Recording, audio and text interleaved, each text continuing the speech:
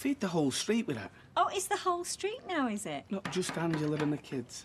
I'll get it. Oh, thanks, Rosie. That's nice of you.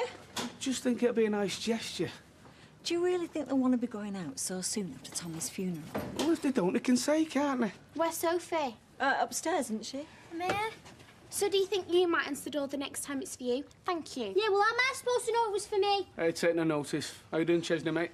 Yeah, I'm alright. Did you get any Easter eggs? Well, my mum's away, but I bought them for myself. Oh, that's not right big, is it? Here, have this one. I'll never get round to eating it, and I'd regret it if I did. Well, she told me that before I bought it. Oh, thanks. You're playing out? Yeah. Come on then. All right, dinner will be about half one, okay? And you can invite who you want.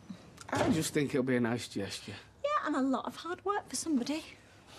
Chesney! Don't tell her I've got this. Why not? Hello, Miss Sullivan. Hello, love. Hello, Sophie, love. Now, Chesney, did you get any Easter eggs? Well, I got this one, yeah. Only, I'm saving it till later. Eh, dear, that's not very big, is it? Well, you see, my mum's away. Right, just stay here. I'll be back in a minute. Oh, uh, Rita, are we ready then? Yes, we are, but I've just got something to do first. I wish she'd let me drive. She shouldn't be on the road at her age. Rita's a very capable driver. Oh, around here when she knows her way about, but even then she's had a couple of close shaves. Anyway, uh, Ray's coming with me, so we'll see you when we get there. Yes, if we arrive in one piece. Come on. Hey, don't, just don't rush me. Slow but steady's me motto these days.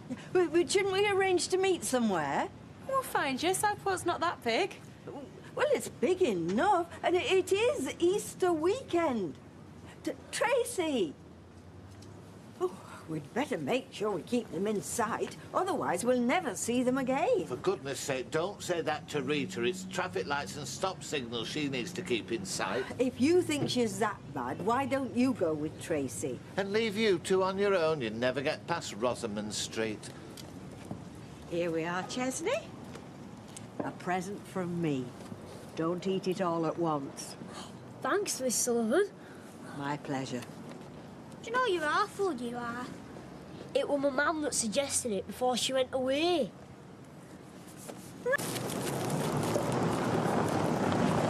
So, you've eaten them both? Well, and another one that Mr. Elliot gave me when he was going past.